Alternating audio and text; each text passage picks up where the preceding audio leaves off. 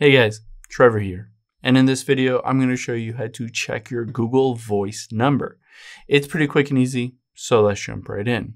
Now, there are two different options you have to be able to check it. One is you can just hop into the App Store or Google Play Store, and from here, you can just type in voice and hit search.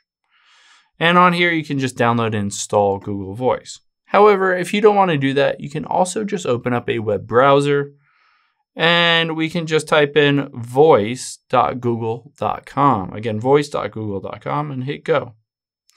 You'll see on here a list of all of your calls, your text messages, all of that stuff.